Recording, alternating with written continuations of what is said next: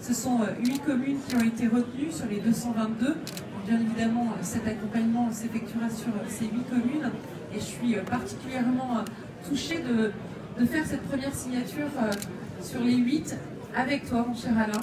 Donc, vous pouvez bien évidemment compter sur la région pour vous accompagner, notamment dans le cadre du pacte de la ruralité, également dans le cadre des conventions territoire-région que nous signons avec chacune des communautés de communes. Et puis, bien évidemment, la région gère les fonds européens et là encore, nous pourrons vous aider et vous accompagner.